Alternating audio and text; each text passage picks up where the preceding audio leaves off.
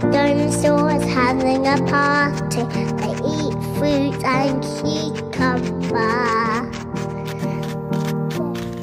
They fell in love. Then what they do? They say thank you.